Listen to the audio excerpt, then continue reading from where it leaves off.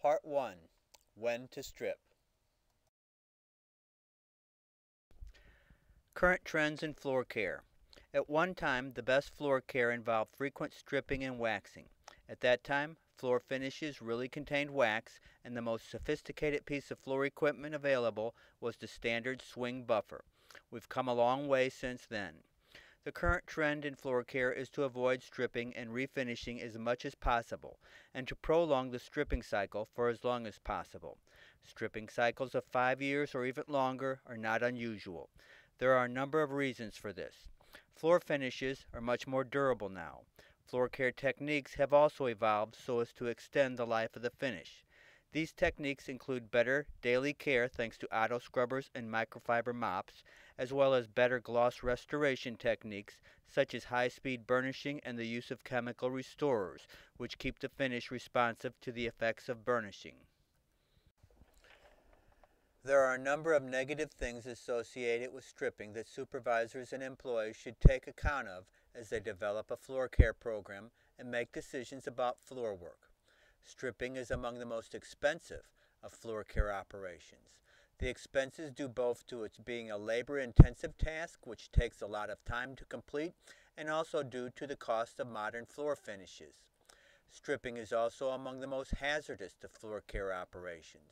The stripper itself is considered a hazardous caustic chemical and can cause both eye and skin damage. In addition to this, stripping makes the floor very slippery, thereby creating a slip and fall hazard.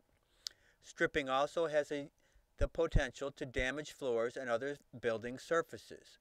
Certain floor types, such as rubber, can be permanently damaged by stripper. If used too strongly or allowed to set too long, even floors for which the stripper is meant to be used on can be damaged. Floor adhesives that hold the tiles down can be dissolved by the stripper, especially if the stripper is too strong or sets too long.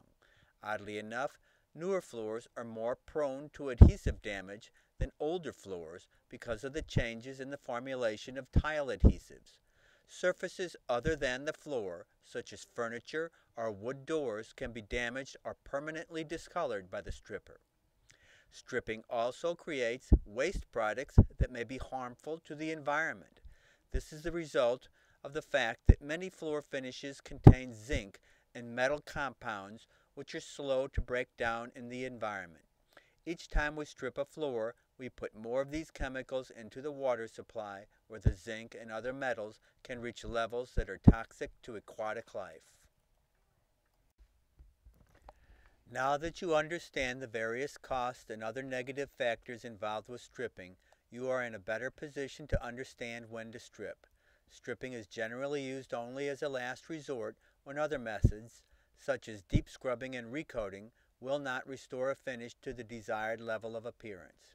There are four main reasons why stripping might be necessary. Deeply embedded dirt, extremely uneven layering of the finish, too much yellowing, and extensive irreparable damage to the finish. The damage could be the result of either normal wear over time or the result of some event, such as a water break or heavy items being dragged across a large section of the floor. Judging whether stripping is needed is no simple matter. All stripping projects should be discussed with supervision. Judging whether a floor should be stripped or not often involves numerous factors. Here are a few questions to be answered before you and your supervisor make the decision to strip a floor. What kind of damage is present? Answering this question often involves some expertise. A floor that looks somewhat dirty or dull might easily be repaired by just scrubbing off the top dirty coats of finish and then providing a few layers of top coating. How extensive is the damage? On a floor that is just worn in one place, spot repair may be possible. Is it a good time for stripping and refinishing? If the area is due for major remodeling, it's probably not a good idea to strip and wax it. Sometimes customers have preferences for when they want the floor to be refinished. They may want it looking its best for an annual board meeting in May, for instance. Is there adequate time for stripping and refinishing? Stripping a large section of floor and leaving it bare for a long period can lead to permanent damage to the floor. Before you start a project, judge whether and when you will be able to finish it. Are there other factors that rule against stripping?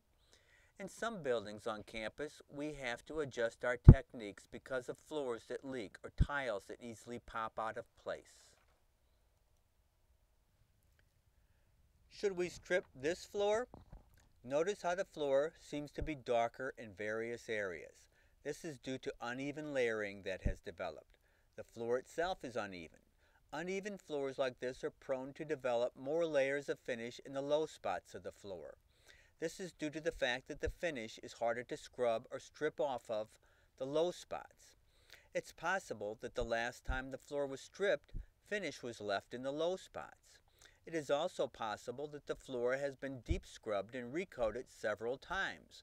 With each deep scrubbing, more finish was removed from the higher spots than from the lower spots, and the uneven layering developed over time.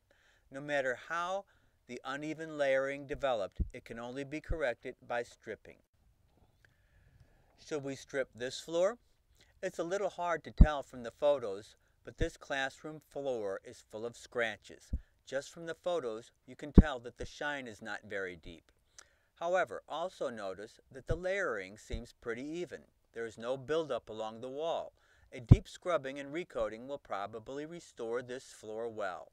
Repeated deep scrubbing and recoating can lead to noticeable buildup along the walls, but this does not appear to be the problem here.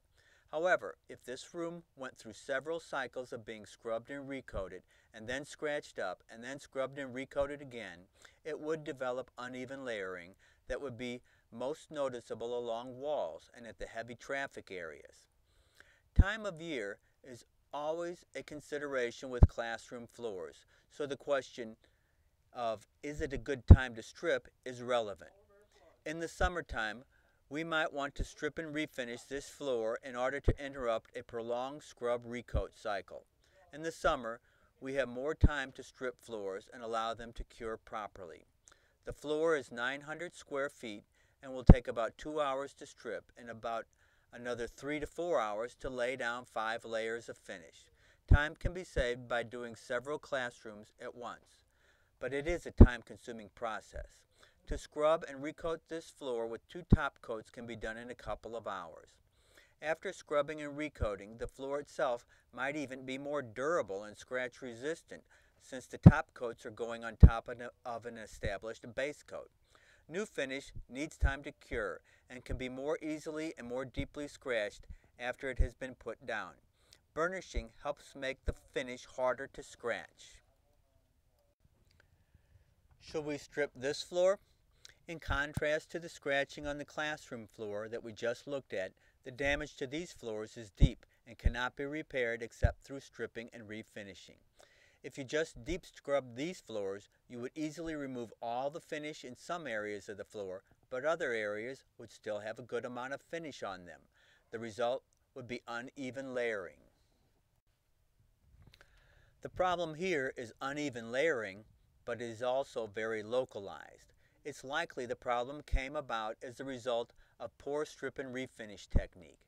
Either all the finish was not stripped away at the door entrance, or some parts of the entrance received more coats of finish than other parts. It is also possible that stripper slurry flowed under the door and dried.